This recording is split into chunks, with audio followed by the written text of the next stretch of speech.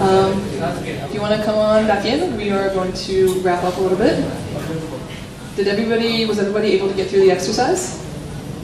Yeah? What, what is, what did you learn? Did anybody learn anything new? Hopefully, somebody learned. anybody want to uh, raise their hand, say what they learned? Sure, what'd you learn? You learned how to do Git? Awesome. Yay, success. That's our goal. Very cool. So um, one more thing that you can learn is a little bit more about open source. And so for that, we're going to have Bjorn who's going to give a little talk about why you should contribute to open source. Um, he's a member of the community here in Singapore. And so I'm going to turn this over to him, and he will tell you more. Thanks, Jesse.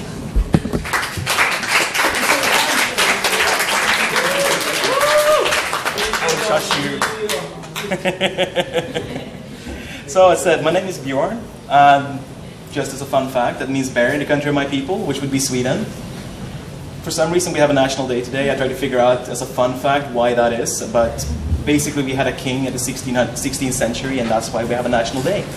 Not every country has that boring of a national day. so I'm a developer, I'm a Dev DevOps guy, meaning that I also play around with servers. Hopefully I'm a better coder, but who knows. And I talk a lot. So I would like to mention to you a little bit why open source is good, amongst other things. And one of the things I really love with open source personally is just that you learn so much from reading other people's code. That's probably the best way you're gonna, ever gonna get anywhere with programming, by reading. And you get so much stuff for free. Like I, am, I use Rails, I use Django, I use a bunch of other tools and toolkits, Git itself, and it's saving me so much time whenever I work. And it's all available. It's all available for all of you. So that's great. Sorry, I just realized I don't have my speaker notes up, and that's great to have. There we go. You. And then the question is, what is open source? So open source has a formal definition. There's also something else called free software, and I'm not going to talk about that today. It's, it's mostly interchangeable, except when it isn't, and if you want to know about it, you can look it up online. It's basically open source, a little more, more freer version of it all, as in you have more ability to do things. Uh, the definition of open source contains about 10 steps. So the first part of it is that you have free distribution, meaning that you're free to share the code that you have or other people has made available, either as code or as a program itself. You know the shareware, shareware of old and all that. You have the ability to look at the source code and modify it, and as you modify it, you're free to work on it and continue sharing on these three are the most important. Like, they're the easiest to deal, and that gets you the basic idea of it all. To see the rest of it, you can look at this website, which will give you what it is. Uh, but open source isn't just about technology. Like, we mostly hear it used among like makers and software developers or hardware developers because a lot of us are seeing it in there. But there are other things, like my mom, she has a great meatball recipe that's something that's open source. Like you can see it as open source because anyone can get that recipe. You can share it, you can change it, you can modify it. Can, the, the result of the recipe is available for everyone. Well, if you happen to be our dinner table, but different story. And why and how did I end up contributing to open source is it's basically one of these things that I felt that the community was giving me so much for free. I was learning so much. So I wanted to give back. But I was also scratching my own itch, because sometimes things just aren't working and yeah. Telling people to fix it doesn't necessarily work. You just have to go in and take care of it yourself. So you start fixing bugs, you start contributing back, because at the end of the day, if I have that bug, maybe someone else will. And maybe they will fix my bugs. So you help out. There's also a big case where you just look at a library or something and it's almost doing what you need. It is so close, but there's that tiny little thing that's missing. So you go in, you add that. At some point, maybe you add a big thing. Like it just keeps building, and that's what we're standing on. Like we keep building software together, getting bigger. And then there are cases where I saw something and I wanted to make it, uh, I saw the problem for myself, and I didn't find a solution already, which is why I built it myself. And I saw that I could just give it out to other people so they didn't have to do that themselves, which can all go. And another thing that I felt with open source is that you never know what you do will be useful. As an example, I made a couple of years ago, back in 2008, the Dark Ages, a, a little Ruby script to help me download YouTube videos and extract audio from them because Spotify wasn't around yet. And the little script stopped working after a couple of years because YouTube changed and apparently they don't want you to download their videos. But sometimes this year, a colleague of mine from Australia came and told me, thank you for putting that script up. I go, why? How did you find that? Oh, I was Googling a problem about uh, FFmpeg, which is a program I use inside of that. And the way you'd use it solved my problem. I'm like, really? That thing it was dead. It hasn't been working since 2010. But so you never know whenever something that you did is going to be useful to someone else. So always leave your things around. It's not like my room. And another thing is just that, as I mentioned, you can solve a bug, you can fix something, and you may have had a problem, and someone else may have a problem.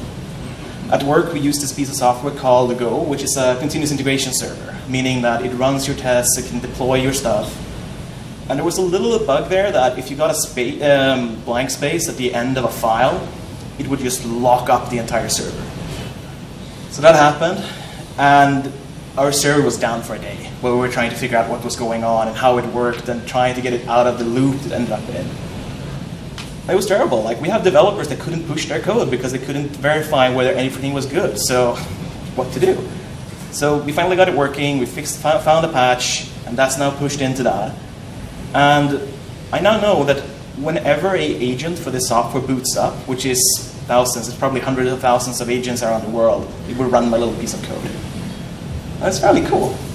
Like one little line there. Admittedly, it was only a strip, but the end, and anyways. Another one I spent is, there's this software called Ansible for managing lots and lots of servers. And we found this problem where things just stop working every so often. And I spent something like six hours digging around on the servers figuring out what's going on. And then we figured out the problem here is that the Ansible module we're working with is not, doesn't understand how Monit works, which was the module we were using. But the fix was just one hour. I just wrote the code in an hour and got it done. I can submit that back, and now we're having a discussion with the Ansible developers about other edge cases that we, we, we also discovered in, during this. And this is going to go in, and I'm hopefully saving someone else having to debug for an hour, maybe the more, who knows.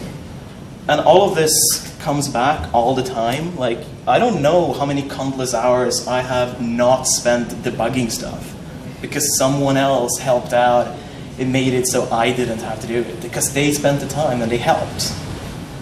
And a little bit, I hope you guys will start helping out and you will release your own software, you will fix bugs, you will add features.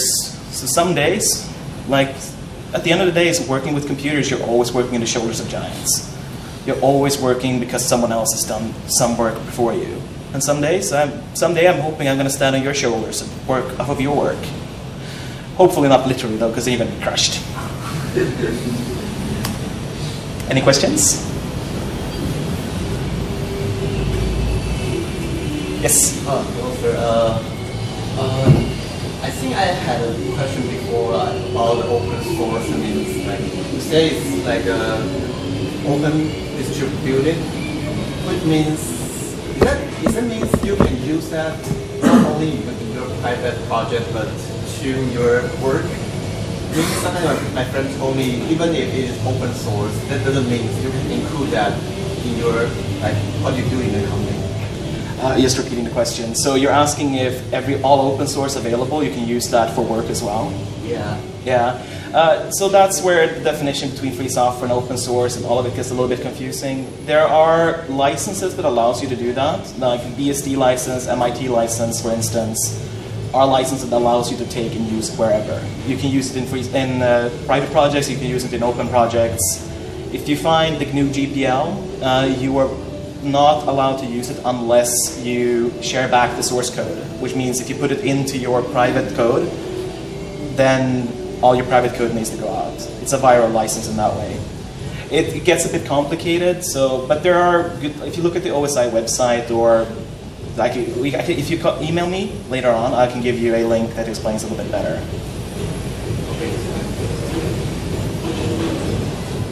Anyone else? Oh, in that case, thank you. And in case anyone wants my mom's meatball recipe or anything else, you can always get in touch with me. Look at my open source contributions and help out. I have a really cute emoji library for Python if you do that, so please go on. So, thank you.